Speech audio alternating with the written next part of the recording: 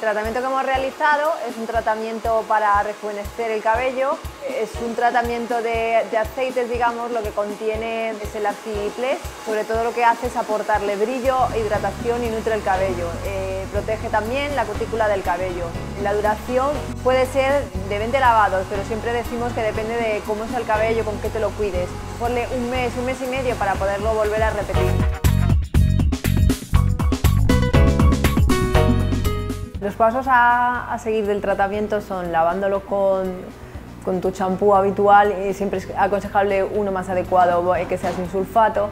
Se hacen dos lavadas, lo normal se masajea dejándolo actuar tres segundos, se aclara y, y se pasa al tratamiento. El tratamiento es digamos como si fuera una mascarilla, eh, que de la misma forma se aplica hacia todo el cabello, masajeándolo, peinándolo y se deja actuar de 20 a 35 minutos. Se puede poner tapado o no, pero sin calor y después se aclara. Se aconseja otra vez de repetir un champú para no dejar los restos del aceite. Después de una vez de que esté todo bien aclarado, se peina, se hace un peinado habitual como el que prefieras.